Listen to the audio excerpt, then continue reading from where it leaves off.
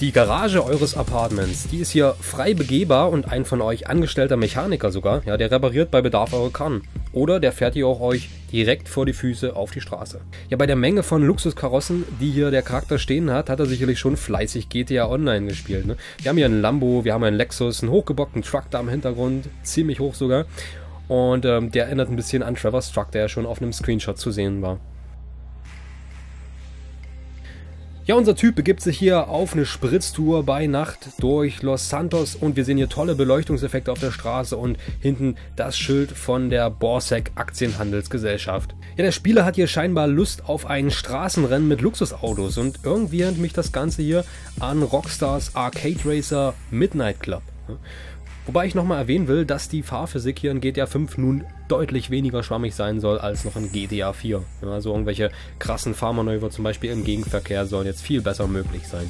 Ja, und solche schnellen Rennen startet ihr, indem ihr einfach einen beliebigen Punkt auf der Karte als Ziel festsetzt. Ihr zum Beispiel so, ja, so ähnlich wie in Forza Horizon zum Beispiel. Neben den Schnellrennen gibt es halt auch noch die typischen Rundkurs, GTA, oder Rallye-Rennen. Also bei den GTA-Rennen ist es halt, ist halt der Einsatz von Waffen erlaubt. Während einem Straßenrennen kann es natürlich auch passieren, dass andere Spieler euch eure Bahn kreuzen. Ja, zum Beispiel jetzt, wenn die jetzt gerade von irgendwelche Leute von Cops verfolgt und gejagt werden, dann kreuzen die auf einmal euren Rundkurs eure, oder eure Rennstrecke. Also für genug Action ist also gesorgt. Ich würde sagen, wir springen jetzt einfach mal zur nächsten Szene. Eine Stuntflugzeug-Herausforderung über der Seilbahnstrecke vom Mount Chiliad ist hier zu sehen und ihr müsst durch die bunten Checkpoint-Kreise hier fliegen und zusätzlich noch Erster werden, logischerweise, ja. Und scheinbar könnt ihr hier auch eure Gegner crashen und zum Explodieren bringen, was hier durch diese ziemlich coole Explosion gezeigt wird. Und eben, man sieht ja auch noch, was mir aufgefallen ist, dieses Hitzeflimmern vom Motor, von den Motorabgasen. Ne? Da kommen noch für mich Erinnerungen an Pilot Wings fürs N64 hoch. Naja, das waren Zeiten. Nächste Szene. Wenn ich das hier richtig sehe, liefern sich ja sieben Spieler ein Jetski-Rennen bzw. ein Wave Race und brettern hier waghalsig unter dem Del Piero Pier, also das ist ja der Santa Monica Pier im realen Los Angeles, hindurch, so ganz waghalsig. Ne? Und weiter zum nächsten Checkpoint am schönen Vespucci Beach. Ja, das Rennen scheint hier ein Rundkursrennen zu sein. Ja, man sieht es ja am Lab, Current Lab, oh, dann noch die Position ist zu sehen, sechster.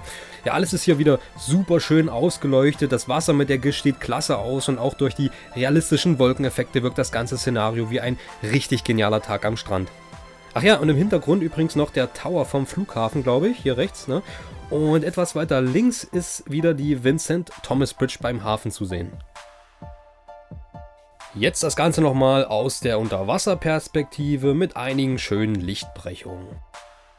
Ja, nach den ganzen schnellen Rennen nehmen wir jetzt einfach mal etwas Tempo aus der Sache und springen in einen aus GTA San Andreas bekannten Lowrider. Damit könnt ihr auch mal ganz gemütlich durch Las Santos cruisen und wie hier einfach dem Sonnenuntergang entgegenfahren. Links ist es, glaube ich, ein Peyote, so wie ich das sehen kann. Also die Fahrzeug, das Fahrzeugmodell. Ne? Ich finde einfach, das sind verdammt edle Autos. Ich, die gefallen mir einfach noch besser als Sportwagen zum Beispiel. Und äh, apropos gemütliches Cruisen. In GTA Online gibt es dafür einen Passivmodus, einen sogenannten Passivmodus, den ihr aktivieren könnt, um jetzt nicht von anderen Spielern gekillt zu werden. Ja, also wenn ihr jetzt aber im Passivmodus auf einen anderen Spieler ballert ja, oder einschlagt, werdet ihr wieder in den Aktivmodus versetzt und ihr seid angreifbar. Also, da möglichst den nervösen Abzugsfinger stillhalten, da habe ich ja immer so meine Probleme mit.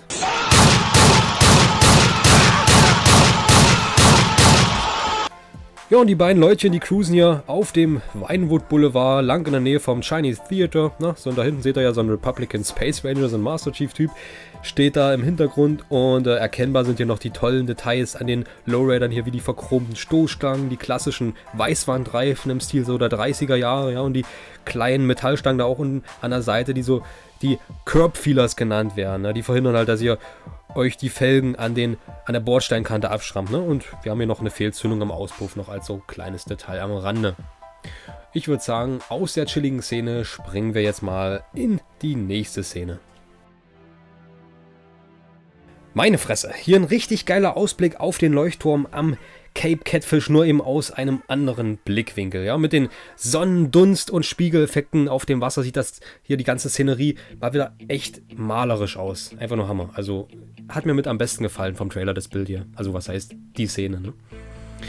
Die Gebäude rechts hier neben der Bergkette sehen wie ein Industriegebiet aus, ja, und die Spieler hier im Vordergrund, die crossen, so wie es aussieht, frei durch die Gegend, also ohne jetzt direkt ein Rennen zu veranstalten, also so eine Art Free-Modus, ne? Und äh, das Ganze halt mit Quads und äh, Moto, verschiedenen Motocross-Bikes.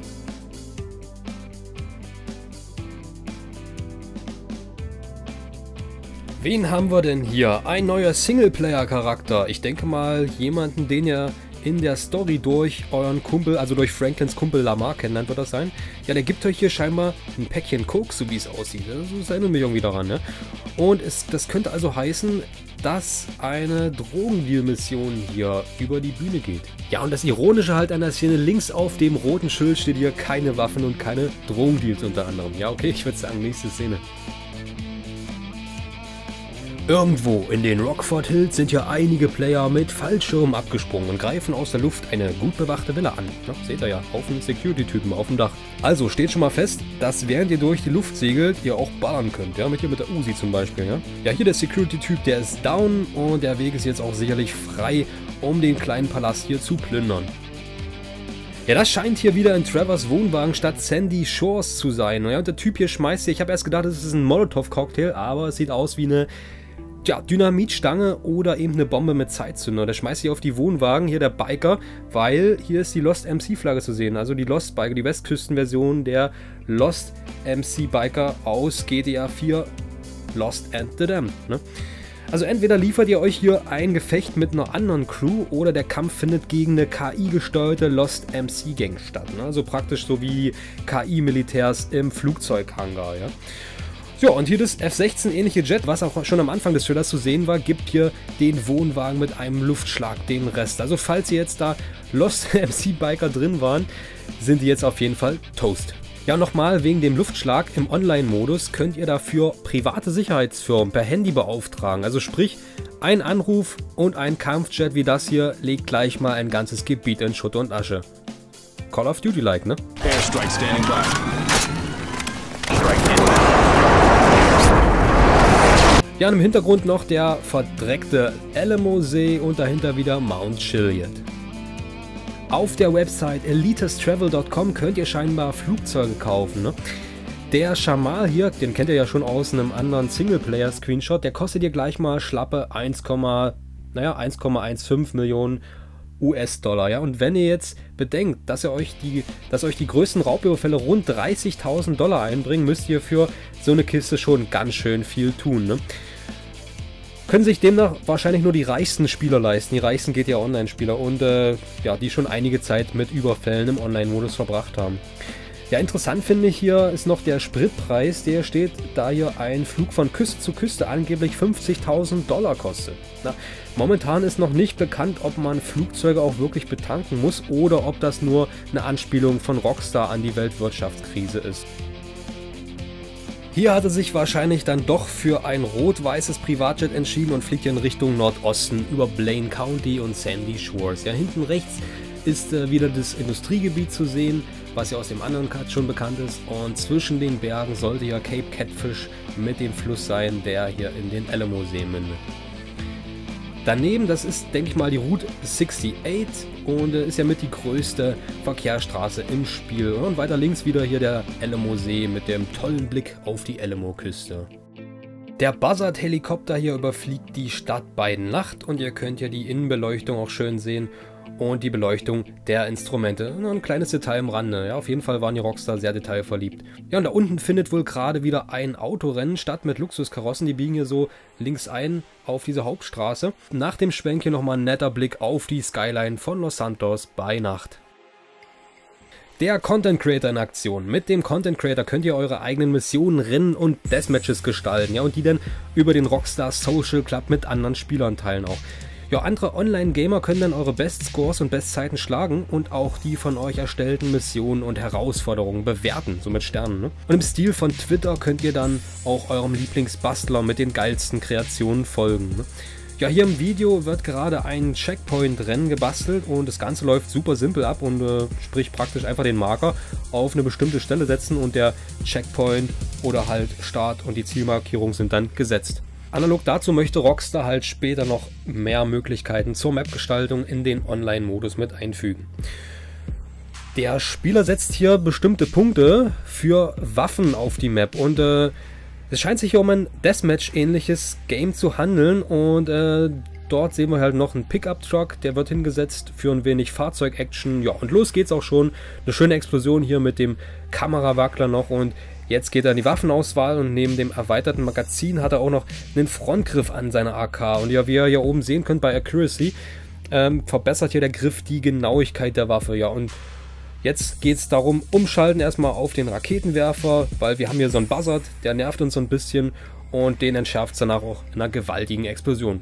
Klar, Raketenwerfer hat eine Menge, Bums drauf, One-Shot-Kill.